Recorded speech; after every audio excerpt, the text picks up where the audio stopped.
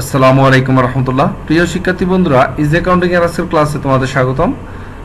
আজকে আমরা BBA honours third year এবং বিবিএস পাস কোর্সের থার্ড ইয়ারের কস্ট অ্যাকাউন্টিং বইয়ের কন্ট্রাক্ট কস্টিং নিয়ে আলোচনা করব। কন্ট্রাক্ট কস্টিং এর আজকে আমাদের ক্লাস নাম্বার ফোর তার মানে এর আগে আমরা আরও তিনটি ক্লাস নিয়েছিলাম এই ক্লাসটার আগে। তো এখানে আমাদের প্রথম ক্লাসটা খুবই গুরুত্বপূর্ণ, এখানে আমরা কিছু নিয়ম আলোচনা করেছি এবং ওই ধারাবাহিকভাবে যদি তোমরা তিনটা ক্লাস দেখার পর আজকের ক্লাসটা দেখো, তাহলে তোমাদের জন্য এই চ্যাপ্টারটা করাটা খুব সহজ হয়ে যাবে। এই চ্যাপ্টারের আরও কয়েকটি ক্লাস সামনে আসবে, তো আমাদের ক্লাসগুলো দেখার জন্য আমাদেরকে সাবস্ক্রাইব করে এবং আমাদের ক্লাসগুলোতে কমেন্ট শেয়ার করে আমাদের পাশেই থাকবা, তাহলে তোমরা আমাদের ক্লাসগুলো সবার আগে দেখতে পারবা। তো আজকে আমরা যে ম্যাথটি সলিউশন করব, সেটি national university BBA honours third year দুই হাজার উনিশ সালে এসেছিল। তো চলো আর কথা না বাড়িয়ে আমরা আমাদের ক্লাসটি শুরু করি। যে ম্যাথটা আমরা সলভ করব, সেই ম্যাথটি আমরা দেখে আসি স্ক্রিনে এখানে বলা আছে, Selim corporation company obtain a contract taka twelve lakh for the construction of a bridge একটা ব্রিজ তৈরি করার জন্য সেলিম কর্পোরেশন একটা কন্ট্রাক্ট করেছে বারো লাখ টাকার বিনিময়ে। Work start on October two thousand eighteen দুই হাজার আঠারো সালের অক্টোবরে কাজটা শুরু হবে। The following particulars regarding to the work are given for the year thirty first December September two thousand এবং এই কাজটা আমাদের মানে এই হিসাবকালটা শেষ হবে একত্রিশে সেপ্টেম্বর দুই হাজার উনিশ সালে। অর্থাৎ এই অঙ্কটা হচ্ছে এক বছরের। প্লান্ট অ্যান্ড মেশিনারি পার্সেস করেছে আমরা ষাট হাজার টাকা। ওয়েজেস পেড দেওয়া আছে তিন লক্ষ চল্লিশ। র মেটেরিয়াল সাইডে পাঠানো হয়েছে তিন লক্ষ ছত্রিশ হাজার। ডিরেক্ট এক্সপেন্স দেওয়া আছে আট হাজার টাকা। জেনারেল ওভারহেড দেওয়া আছে বত্রিশ হাজার।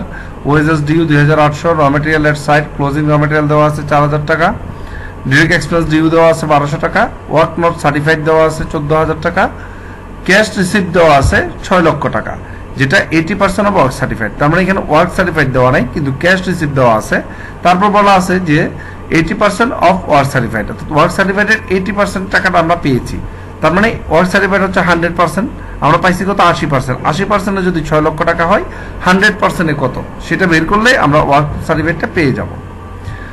The life of plant and machinery হচ্ছে ফাইভ ইয়ার্স এখানে বলা আছে prepare contract account for the year ended thirty first December September two thousand nineteen দুই হাজার উনিশ সালের তিরিশে সেপ্টেম্বর সমাপ্ত বছরের জন্য আমাদের কন্ট্রাক্ট অ্যাকাউন্ট তৈরি করতে হবে।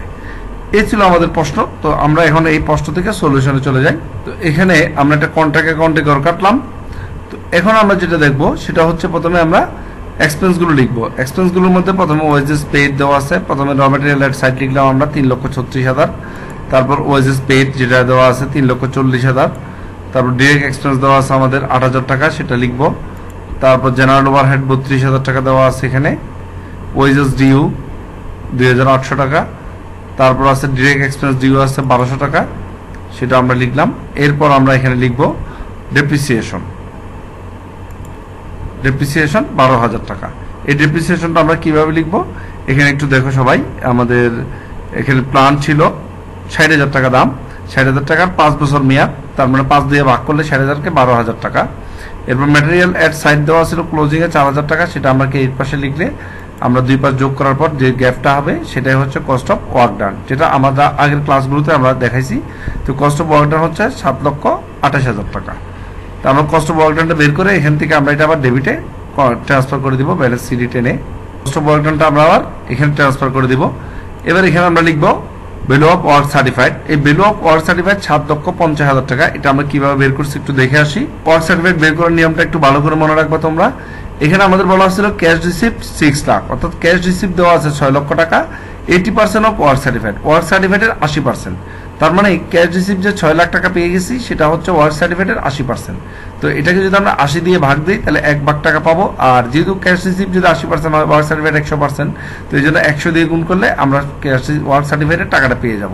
যদি কখনো তোমাদের প্রশ্নে ক্যাশ রিসিপ্ট টের টাকা দেওয়া থাকে এবং পার্সেন্টেজ দেওয়া থাকে, এই যে পার্সেন্ট সেটাও কিন্তু ওয়ার্ক সার্টিফাইডের উপর এইটি পার্সেন্ট মানে ক্যাশ রিসিপ্টকে বোঝানো হচ্ছে। তো তখন ক্যাশ রিসিপ্টের টাকাকে পার্সেন্ট দিয়ে ভাগ দিবা, একশো দিয়ে গুণ করলেই ওয়ার্ক সার্টিফাইডের টাকাটা পেয়ে যাব। তো অফ ওয়ার্ক সার্টিফাইড দেওয়া ছিল সাত লাখ পঞ্চাশ হাজার টাকা, আর নট সার্টিফাইড দেওয়া ছিল চোদ্দ টাকা, যেটা আমাদের প্রশ্নে দেওয়া ছিল। এই দুটো যোগ করার পর আমরা এখানে বের করব নস্টাল প্রফিট নস্টাল প্রফিট এই পাশে আনার পর আমরা এখানে প্রফিট লস অ্যাকাউন্ট এবং প্রফিট প্রভিশনের টাকাটা ট্রান্সফার করব। তো এটা ট্রান্সফার করার আগে আমাদের বের করে নিতে হবে কি? প্রগ্রেস ইন ওয়ার্ক তো আমাদের ভ্যালু অফ ওয়ার্ক সার্টিফিকেট ছিল সাত লাখ পঞ্চাশ, একটু আমরা বের করছি। কন্ট্রাক্ট প্রাইস বারো লাখ টাকা। তার মানে বাষট্টি দশমিক পাঁচ পার্সেন্ট কাজ আমরা কমপ্লিট করেছি। তো এটাকে আমরা অ্যান্ড লস অ্যাকাউন্টে ট্রান্সফার করলে নস্টাল প্রফিট তিনের দুই যেহেতু বাষট্টি দশমিক পাঁচ পার্সেন্ট এই যে বাষট্টি দশমিক পাঁচ পার্সেন্টের কারণে এখানে তিনের দুই আসছে, এটা আমরা প্রথম ক্লাসে ভালো করে আলোচনা করেছিলাম। যদি না বুঝো, তাহলে প্রথম ক্লাসটা আমাদের দেখে নিবা কন্ট্রাক্টের এরপর cash receive divide by value of work certified তাহলে এখানে আমরা নশো প্রফিট ছিল ছত্রিশ হাজার টাকা আর তিন ভাগের দুই ভাগ, আর এখানে ছিল একশো টাকা হচ্ছে ওয়ার্ক সার্টিফাইড আর আশি টাকা হচ্ছে কি ক্যাশ রিসিভ যেহেতু ওয়ার্ক সার্টিফাইডের আশি পার্সেন্ট হচ্ছে ক্যাশ রিসিভ সেজন্য একশো বাই আশি। তো এবার আমরা এখানে পেয়ে গেলাম প্রফিট উনিশ হাজার দুশো টাকা। অর্থাৎ আমরা প্রফিটের লস অ্যাকাউন্টে উনিশ হাজার দুশো টাকা পাঠাবো নস্টাল প্রফিটের তাহলে বাকি টাকা কোথায় যাবে? বাকি টাকা যাবে প্রফিট প্রভিশনে তো ছত্রিশ হাজার থেকে উনিশ হাজার দুশো টাকা বাদ দিলে প্রফিট প্রভিশনে যাবে ষোলো হাজার আটশো টাকা। এই টাকাটা নিয়ে আমরা এখন বসাই দিলে আমাদের ম্যাটটা শেষ হয়ে গেল। তো আশা করি তোমরা বুঝতে পারছ আমাদের এই ক্লাসটি তো সবাইকে ধন্যবাদ আমাদের ক্লাসটি দেখার জন্য।